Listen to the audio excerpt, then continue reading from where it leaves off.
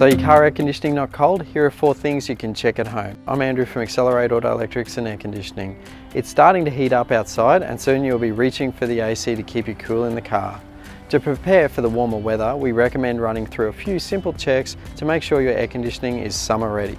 First, you want to check for any unusual noises. On most cars, when you turn the air conditioning on, you should hear a loud click and that's the noise of the compressor cutting in. If you hear a rumbly sound once your compressor cuts in, this means it's on its way out and you need a replacement. The other noise that you can hear is the hissing noise when it cuts in and out behind your dash as the gas flows through. This is a sign you're low on gas. The other thing you'll get is the your vent temperature won't be as good as it should be and you can get a difference in temperature between the two vents. Second, you want to check for any unusual smells. If there is musty or unpleasant smell coming out of the vents or your allergy symptoms are being triggered when the air conditioning gets switched on, there may be a bacteria or mildew buildup in the system. The other thing that can happen is it can be a sign that your evaporator is leaking. Um, so it's leaking gas in the car, that's quite a, sort of an issue. The other thing you'll notice if your evaporator is leaking is the air conditioning will be low on gas, so it won't be as cold as it should be and we'll have that uneven vent temperature. Okay, so thirdly, and probably the easiest to do at home and the most accurate, is the performance test. So what we've done here is we've put a thermometer in the vent. You can just use any old thermometer We've set the fan to first or second speed and we've also got it on recirculate, that's quite important. What we should see is a temperature below 8 degrees. The temperature will fluctuate as the compressor cuts in and out. This is a natural part of the air conditioning system.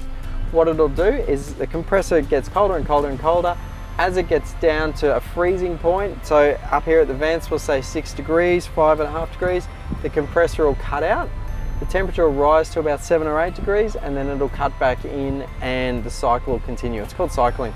The air conditioning system does this so the evaporator doesn't freeze up inside the car. If you see a temperature going below five degrees, that is a sign that something's wrong. It's either going to be a faulty thermostat or thermistor, or more commonly, a block cabin filter. A block cabin filter will restrict the airflow to the vent, so allow the evaporator to get too cold and freeze up to a block of ice. If you're quite handy yourself, you can get to the ca cabin filter and you can check it and replace it yourself. Okay, fourth on the list, have you ever noticed the pool of water under your car after you've driven it with the air conditioning on? This is normal for most cars. The air conditioning system is designed to drain the condensation to the exterior of the car.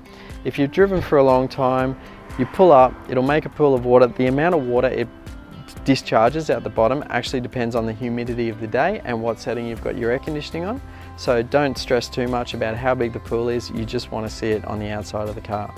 One thing to look for is if the aircon's cold, humid day and you're not having water on the ground outside your car, maybe just check the passenger floor of your car because sometimes that drain tube can block up.